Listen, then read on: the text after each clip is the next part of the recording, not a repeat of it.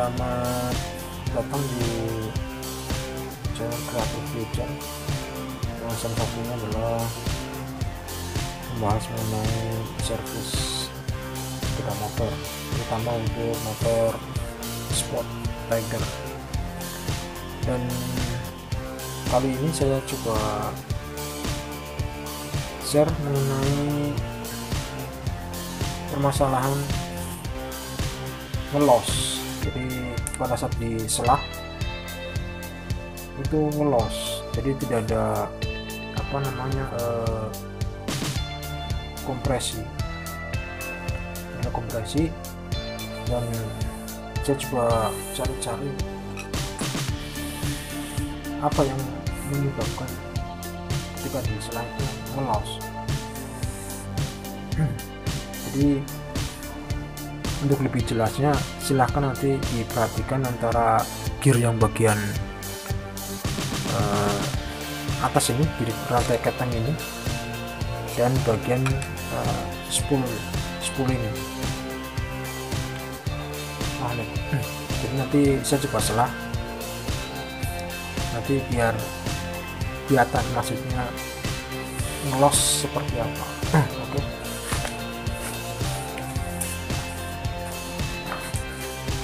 Jadi perhatikan jadi si spool ini yang muter atau diselah tapi bagian atasnya itu tidak menyimpang jadi sepertinya rantai putus tapi ternyata ini katanya tidak. putus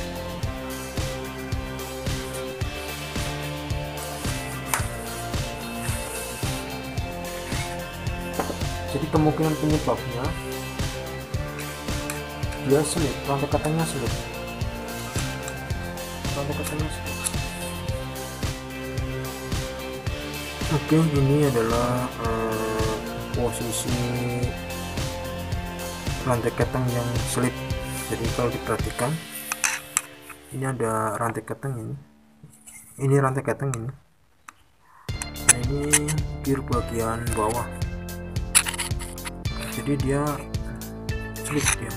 Lepas dari gear bagian bawah. Nah ini yang menyebabkan kalau diselah dia ngelos. Kalau diselah dia ngelos. Ya. oke ya jelas ya. Jadi ini ada rantai keteng ini. Ini rantai keteng. Dan ini gearnya ini,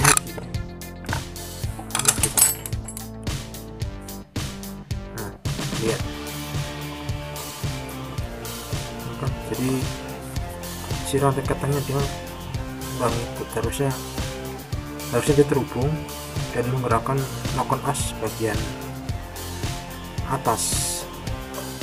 Oke. Ya sehingga ketahuan yang menyebabkan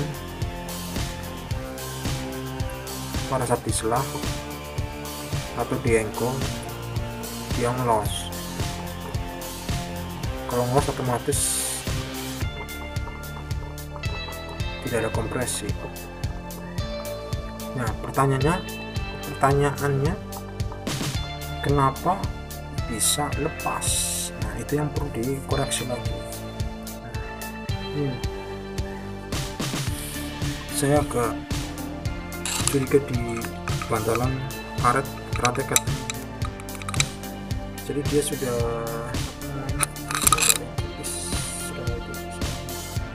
kameranya agak agak susah biar biar agak susah dan ngapain lumayan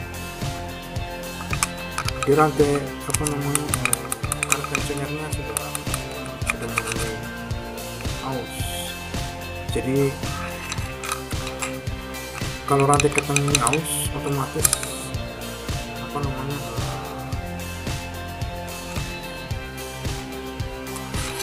pada saat disetel dengan apa namanya pada saat disetel dengan ini uh, setelan tensionernya dia tidak tidak bisa maksimal. Kalau tidak karena karena tidak bisa maksimal jadi pada saat motor dalam kondisi putaran tinggi mungkin si rantai keteng ini dia tambah tambah mulur karena tambah mulur otomatis ininya kemungkinan bisa yang menyebabkan ini bisa slip atau bisa lepas. Kalau saya perhatikan di bagian bawah sana ada kunci ada penahan rantai ketengnya ini juga masih enggak enggak lepas dia. Enggak lepas agak susah yang lihatnya agak susah. Agak susah. Tapi saya lihat tadi sudah cek. Oke nggak ada masalah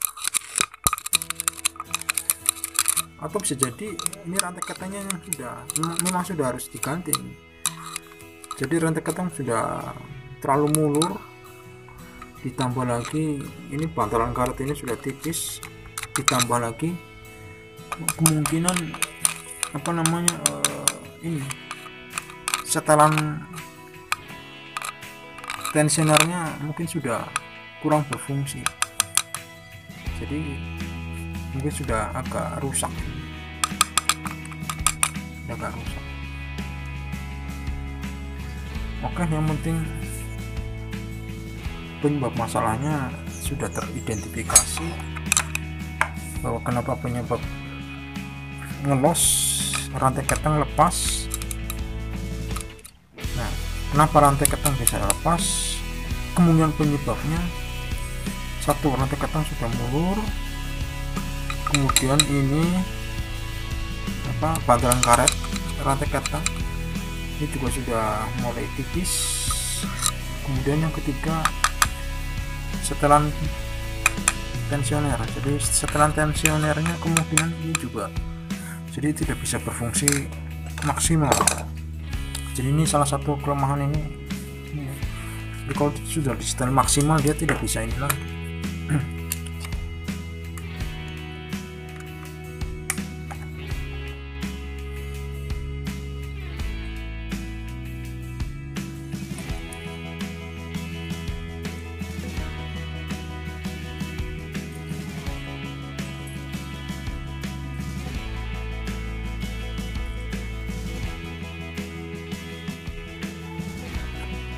ini adalah kondisi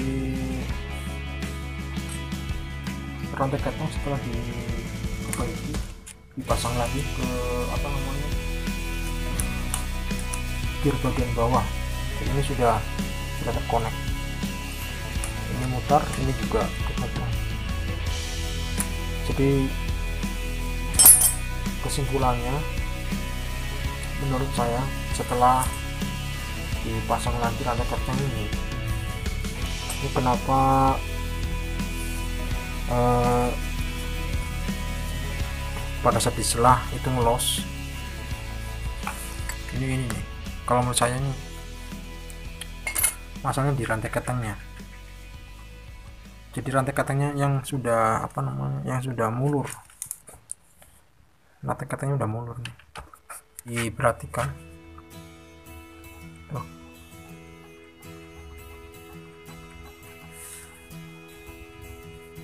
udah udah mulus banget ini.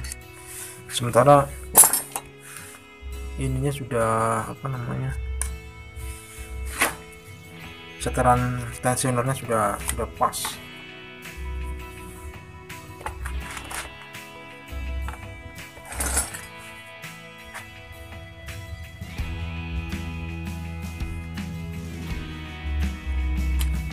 Ya. ini udah udah mentok ini Mistral ini udah mentok. Tapi ininya terlalu katanya kendor nih. Jadi udah yang kelihatan udah udah mulus banget ini coba perhatikan perhatikan. Tuh.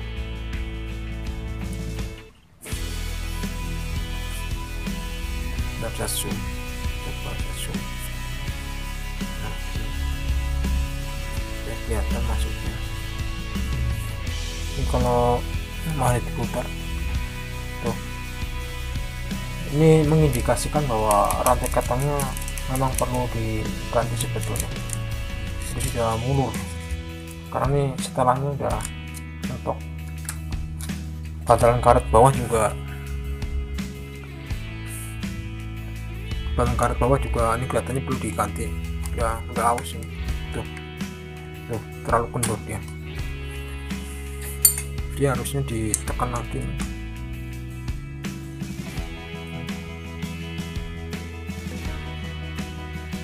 ini kalau ditekan ini terlalu kendor nah ini yang bisa yang menyebabkan si rantai kateng ini selip atau lepas dari dudukan gear bawah. Oke jadi mungkin dari saya itu saja eh, pemeriksaan penyebab masalah motor ngelos pada saat di selah. Dan kesimpulan saya sekali lagi penyebabnya adalah rantai keteng yang sudah terlalu mulur dan ini perlu diganti. Oke itu saja dari saya. Silahkan jika anda suka dengan video ini silahkan di like dan sebagai apresiasi atau dukungan kalian mungkin bisa subscribe ya subscribe share atau barangkali ada komentar silahkan tulis di kolom komentar mengenai apa namanya eh, pemeriksaan ini atau mungkin ada saran silahkan terutama untuk tensioner ini ya. Jadi seteran tensioner ini. Ini udah udah mentok. Udah mentok. Ini kalau nggak tutorial di YouTube yang lain ini mungkin ada yang menggunakan baut tapi saya masih belum bisa. Jadi untuk sementara seperti ini dulu. Oke dari saya itu saja dan sekali lagi terima kasih atas perhatiannya